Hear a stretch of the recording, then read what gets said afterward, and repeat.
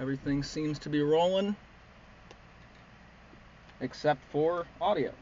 Okay. Now it's working. Chapter 18 At the Graves Portals. There's an actual asterisk on the word portals. Uh, the title, in this case. The first title asterisk we've seen. The first words of a stanza from one of Alexander Pushkin's poems, which goes on, quote, dot dot dot, unrepinning slash may young life play, and where I lie, may heedless nature still be shining slash with beauty that shall never die. A bicycle, a wheel, once rolling, retains its balance only for so long as it moves. Without movement, it collapses. In the same way, the game between woman and man, once begun, can exist so long as it develops. If today didn't continue yesterday's progress, the game would no longer exist. Oleg could hardly wait for Tuesday evening, when Zoya was due to come on night duty. The gay multicolored wheel of their game had to roll a little further than it had the first night and on Sunday afternoon. He felt within himself an urge to roll it on and foresaw the same urge in her. Nervously, he waited for her. At first, he went outside in the hope of meeting her in the garden. He knew the slanting path she always came in by. He smoked two shag cigarettes he'd rolled himself before it occurred to him that he'd look silly in his women's dressing gown. Not at all how he wanted to present himself. It was getting dark, too. He went back into the wing, took off his dressing gown and boots, and stood by the bottom of the stairs in his pajamas, looking no less absurd than he had in the dressing gown. His hair, which usually stuck up on end, was as tamed today as it ever could be. She came out of the doctor's dressing room, late and in a hurry. But she raised her eyebrows when she saw him, not in surprise, but as if noting that things were as they should be. That she'd expected him to be there. That his place was there, at the foot of the stairs. She did not stop. Not wishing to be left behind, he walked beside her stretching his long legs up the staircase, two steps at a time. He could move like that, without difficulty now. Well, what's new? she asked him as she climbed, as if he were her aide de camp. What was new? The changes in the Supreme Court were new, all right. But she would need years of education to understand that, and it wasn't that kind of understanding that Zoya needed at the moment. I've found a new name for you. At least, I've realized what your name ought to be. Really? What? She continued, briskly up the stairs. I can't tell you while you're walking. It's too important. They were at the top now. He lagged back on the last few steps and, looking at her from behind, noted that her legs were a bit thick and heavy, although they seemed to go well with her compact figure. Still, they had a charm of their own. Though light and springy legs, like Vega's, put you in a better mood. He was surprised at himself. He never used to think or look at things that way before. He found it coarse and vulgar. He'd never flitted from woman to woman. His grandfather would have called it skirt mad. Still, as the saying went, Eat when you're hungry, love when you're young. Oleg had missed out in his youth, though. Now he was like an autumn plant in haste to extract the last juices from the earth, so as not to regret the lost summer. During his short return to life, and his life was already going downhill, yes, downhill, he was impatient to see women and absorb them in a way which he could never mention to them. He was more sensitive than others to their nature, since For years he hadn't seen one, been near one, or heard a woman's voice. He had forgotten what it sounded like. Zoya took over the shift, and it was as if she'd started whirling, like a top. She whirled around her table, around the treatment list and the medicine cabinet. Then she'd suddenly spin off sideways toward one of the doors, just like a top. Oleg watched her, and as soon as he saw that she had a moment to herself, was at her side. So there's nothing else new in the clinic? asked Zoya in her delicious voice, meanwhile sterilizing syringes on an elastic stove and opening ampoules. Oh, there was a great event today at the clinic. Nizamutin Baramovich himself made his rounds. Did he? That's good. I'm glad I wasn't there. So what happened? Did he take away your boots? No, it wasn't the boots. But there was a bit of a clash. What happened?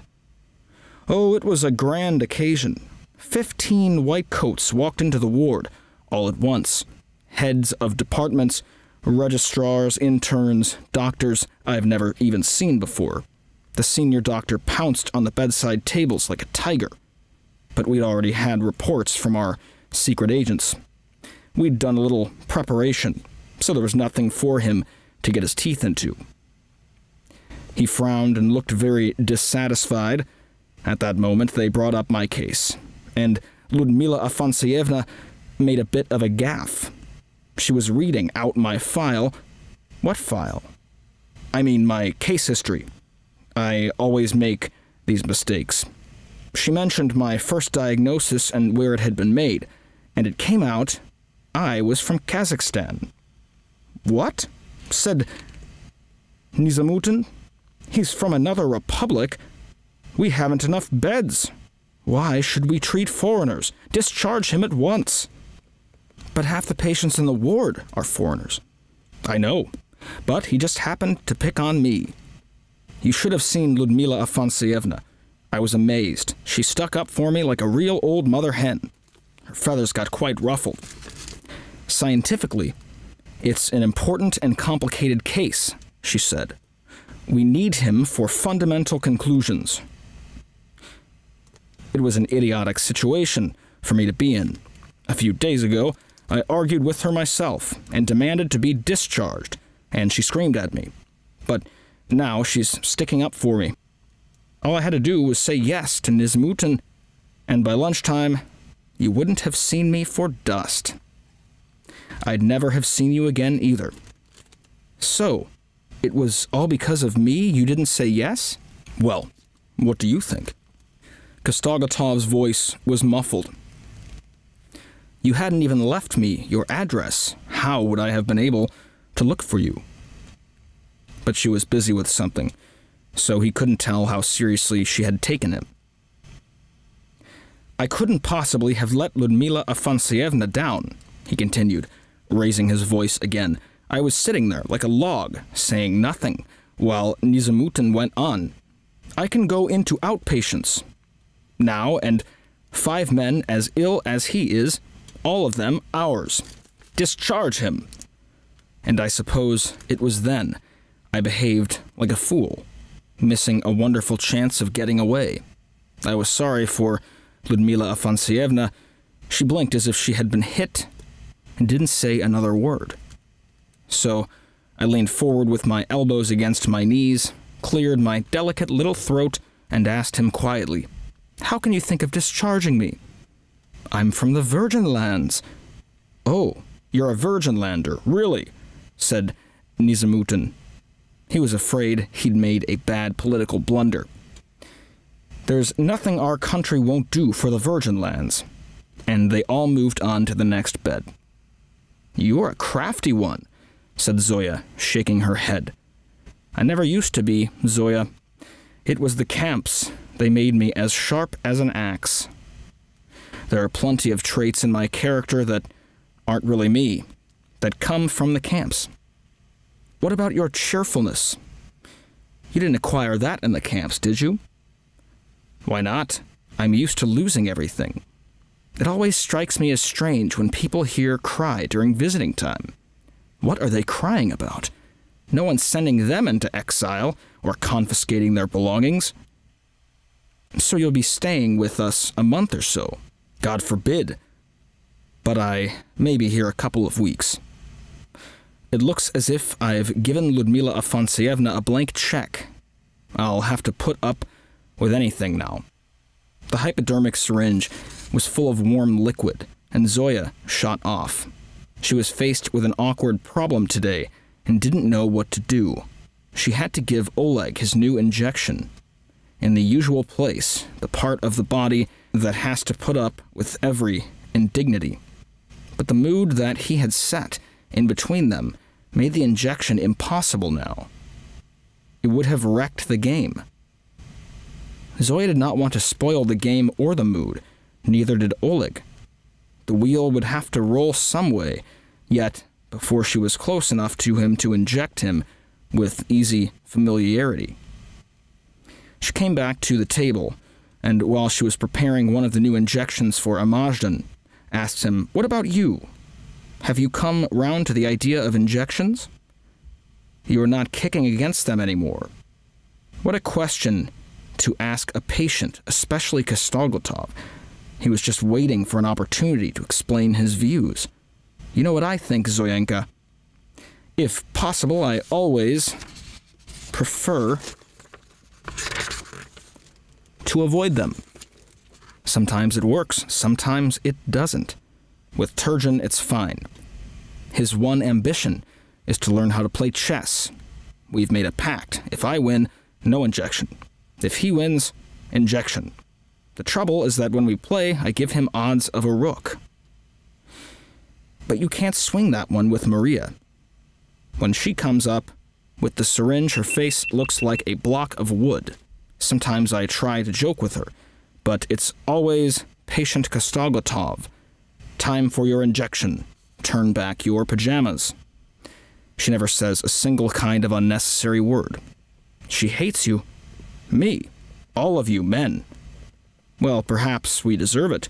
Generally speaking, now there's a new nurse with whom I can't make any headway either. And when Olympiada comes back, it'll be even worse. She doesn't give an inch. That's how I'm going to be too, said Zoya, carefully measuring out two cubic centimeters, but she didn't make it sound very forceful. Off she went to inject Imajin, leaving Oleg alone by the table again. There was another and more important reason why Zoya did not want Oleg to have injections. Ever since Sunday, she had been wondering whether she should tell him what they would do to him. Supposing something serious suddenly emerged from their banter. It was perfectly possible. What if this time it didn't all end in a depressing search for articles of clothing scattered around a room? What if it developed into something strong and lasting? if Zoya decided to become his teddy bear and go with him into exile. And he was right, of course. Who knows in what back of beyond happiness may be waiting. If this happened, the injections prescribed for Oleg would affect not only him, but her too. And she was against them. Well, she said gaily, returning with an empty syringe, have you plucked up your courage? Go to the ward. Turn back your pajamas, patient Kostoglotov. I'll be with you in a minute. He sat there and gazed at her with his eyes that were not the eyes of a patient. He wasn't even thinking about the injection. They had already made a pact. He looked at her eyes, which bulged slightly, asking to be freed from their sockets. Let's go somewhere, Zoya. It was more like a low rumble than speech. The more muffled his voice became, the more hers rang out. Where? Surprised, she laughed. Into town? The doctor's room. She absorbed his relentless glance. There was no game in her voice as she said, I can't, Oleg. I've got too much work. It was as if he understood her. Let's go, he repeated. Oh, Yes, she remembered something. I have to fill out an oxygen balloon for. She nodded toward the stairs. She may have mentioned the name of the patient, but he didn't hear.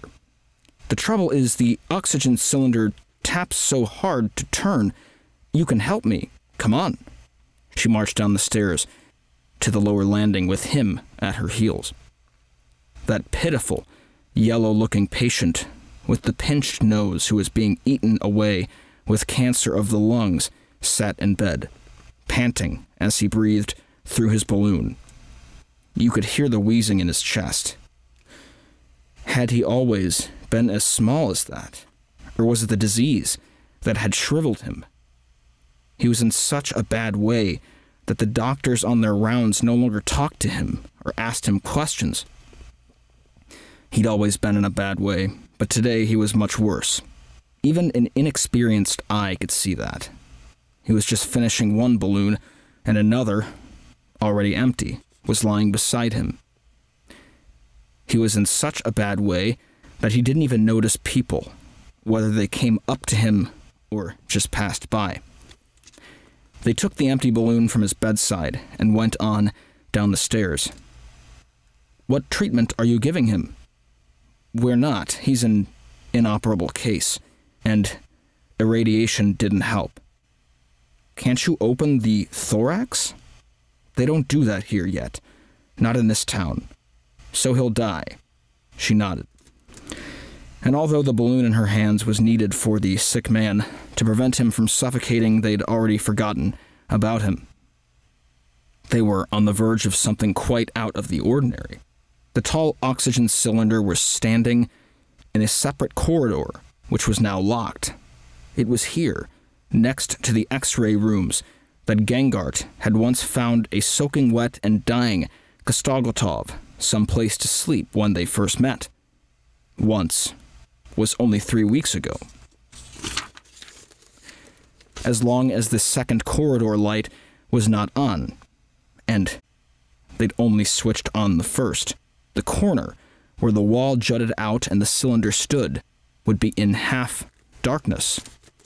Zoya was shorter than the cylinder, Oleg taller. She began to fit the valve of the balloon to the valve of the cylinder. He stood behind her, breathing in the scent of her hair, which was straying from under her cap. This is the tap that's stiff, she complained. He grasped the tap and managed to turn it on at once. The oxygen started to flow. There was a gentle hissing sound. Then, without any pretext at all, Oleg's hand, the one he just used on the tap, grasped Zoya's wrist, the one that wasn't holding the oxygen balloon. She didn't start. She wasn't surprised. She just watched the balloon inflate. Gripping her arm, his hand slid upward, over the wrist and higher to the forearm, then beyond the elbow toward her shoulder. It was an unsubtle reconnaissance, but necessary for them both. It was a test to see whether they had interpreted each other's words rightly. They had. He ruffled her hair with two fingers. She did not protest or recoil. She went on watching the balloon.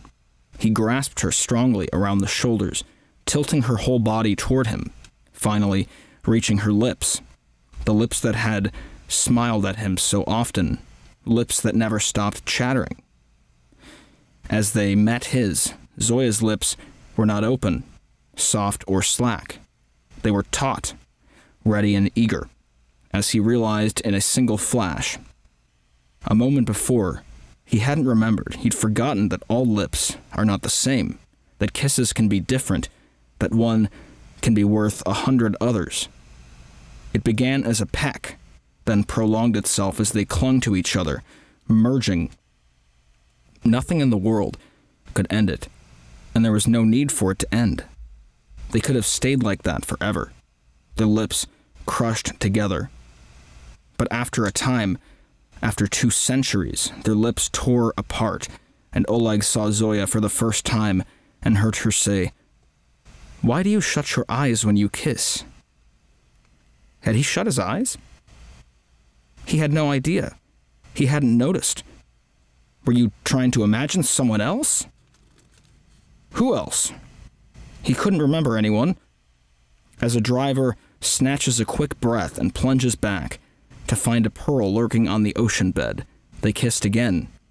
But this time, he noticed that he'd shut his eyes and he opened them.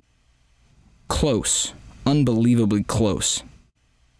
He saw two tawny eyes, almost predatory looking, and each of his eyes looked separately into hers. She was kissing with those confidently taut, experienced lips, never letting them go loose, rocking slightly on her feet and gazing at him steadily, as though to judge from his eyes how eternity would sentence him. Suddenly her eyes swiveled sideways. She tore herself away abruptly from him and shouted, The tap! My God, the tap!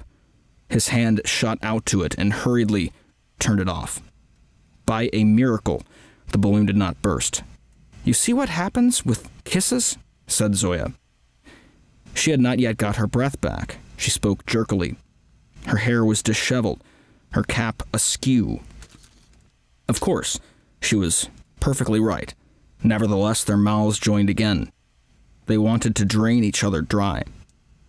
The corridor had a glass door. Through it, someone coming around the corner might easily have seen their raised elbows, hers white, his ruddy. But who cared?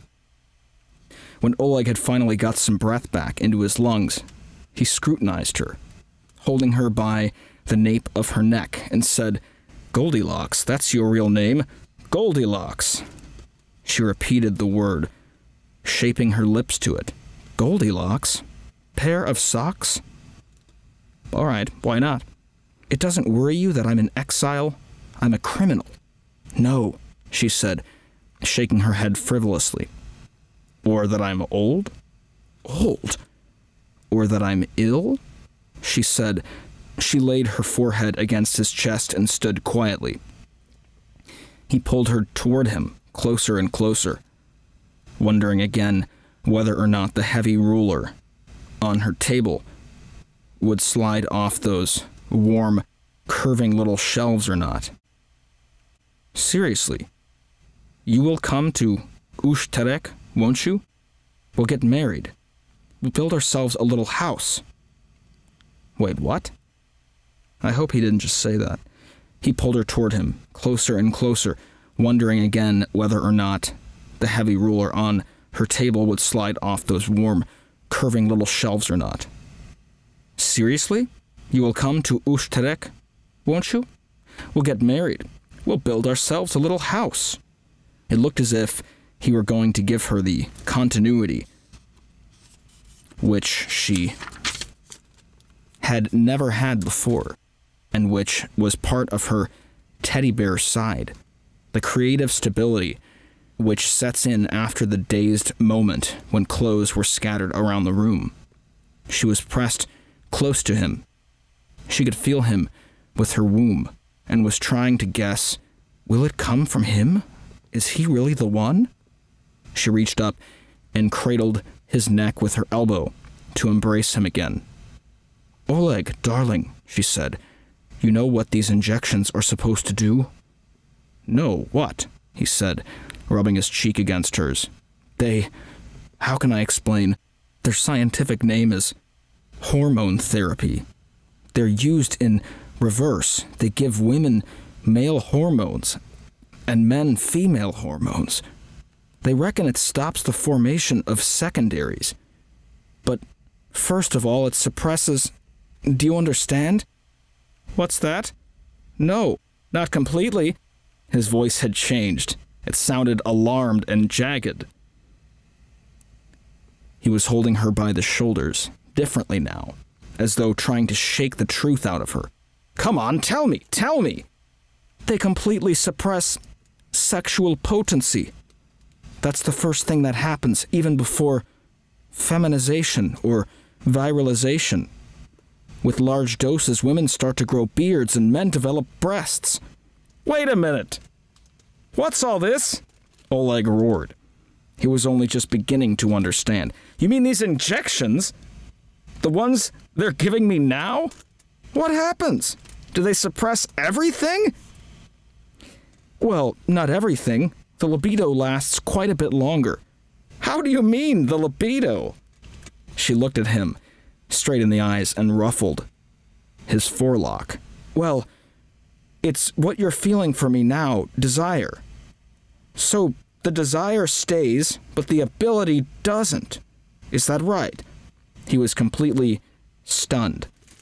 The ability becomes progressively weaker, and then the desire goes too. Do you understand? She ran her finger along his scar and stroked his cheek, clean shaven that morning. That's why I don't want you to have the injections. This is fantastic!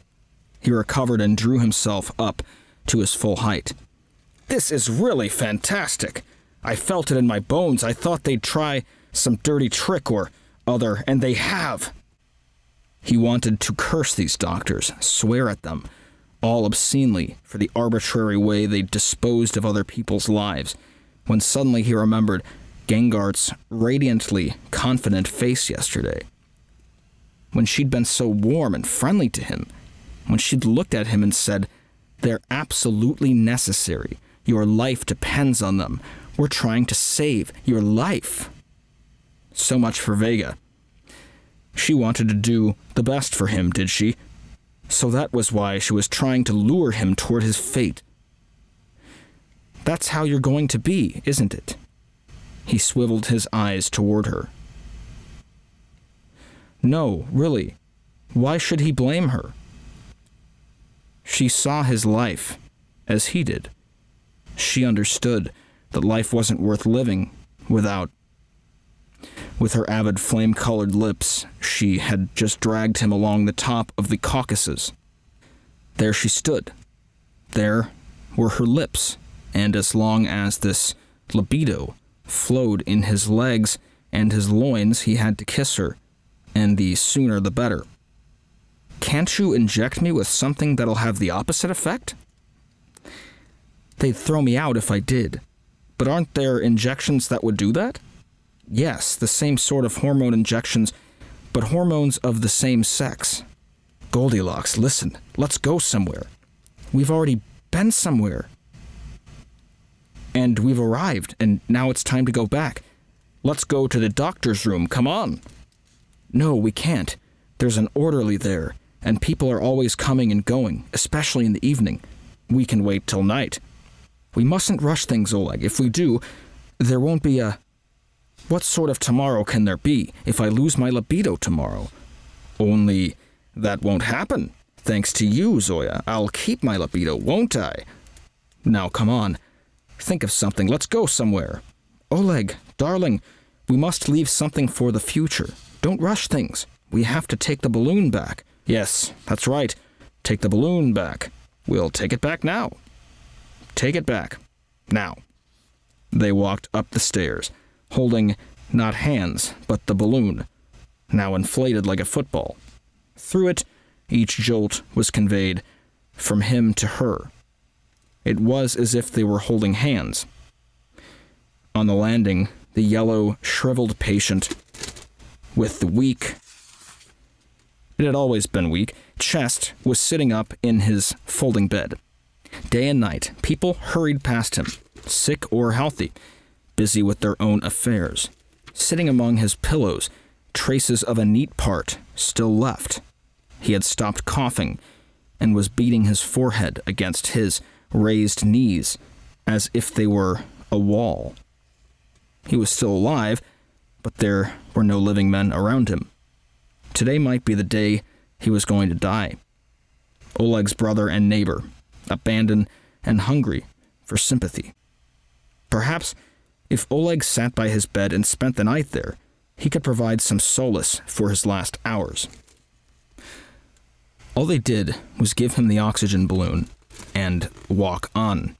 Those last few cubic centimeters of air in the doomed man's balloon had been no more than a pretext for going off into a corner together and getting to know each other's kisses. Like a chained man, Oleg followed Zoya up the stairs. He wasn't thinking about the doomed man he'd left. He'd been one himself two weeks ago, and in six months' time, he might be one again. He was thinking about this girl, this woman, this bit of skirt, and how to persuade her to go off with him again that night. He had forgotten what it was like, and so it was all the more unexpected to feel that aching sensation again, to feel lips crushed till they were rough and swollen like kisses. It made his whole body young. And that concludes chapter 18. Gee, that was the best chapter of the book so far. Very G rated, romantic chapter. I guess you could say PG. Um, bombshell. Uh, she was giving him female hormones to cure his cancer. Is that nuts or what? Wow. The things they used to think would save people. Amazing. I feel. I mean, if. I'm thinking. So, this is a semi autobiographical novel, but I'm almost positive that this is. I mean, you don't make something like this up. You can tell Kostoglotov is Alexander Solzhenitsyn here. Very descript.